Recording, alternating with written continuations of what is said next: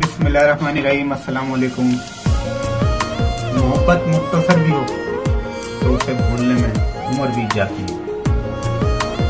और भूलना भी अल्लाह ताला की एक नेमत है, वरना इंसान को पागल बना ले, याद है।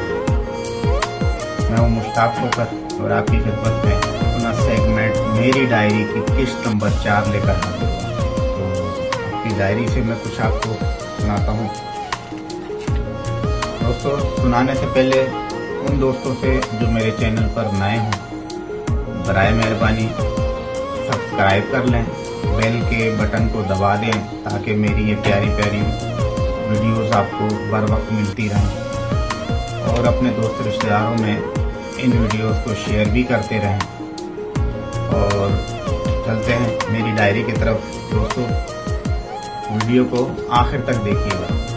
जब उनसे इत्तफाकन मेरी नज़र मिली थी, जब उनसे इत्तफाकन मेरी नज़र मिली थी, कुछ याद आ रहा है, शायद वो जनवरी थी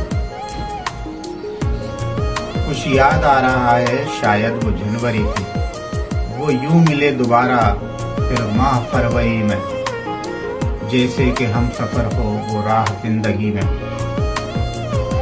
कितना हसीन जमाना आया था मार्च लेकर। राहे वफा पे थे वो, वादों का पास लेकर। एहदे वफा जो बांधा तो अप्रैल चल रहा था। एहदे वफा जो बांधा तो अप्रैल चल रहा था। दुनिया बदल रही थी, मौसम बदल रहा था। लेकिन मई जब आया तो जलने लगा जमाना। हर शख्स की जबा पे बस था यही फसाना। दुनिया के डर से उसने बदली थी जब निगाहें, था जून का महीना और लब पे थी गर्म आहें। जुलाई में उन्होंने कुछ बात की थी कम कम थे आसमां पे बादल और मेरी आँख पूर्णम। माह अगस्त, में बरसात हो रही थी। माह अगस्त में बरसात हो रही थी, बस आंसुओं की बारिश दिन रात हो रही थी। कुछ याद आ रहा है, वो माह था सितंबर। सितंबर, या सितंबर, कुछ याद आ रहा है, वो माह था सितंबर 1986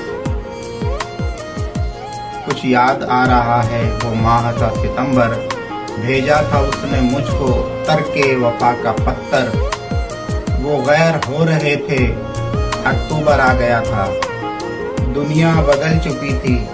मौसम बदल चुका था।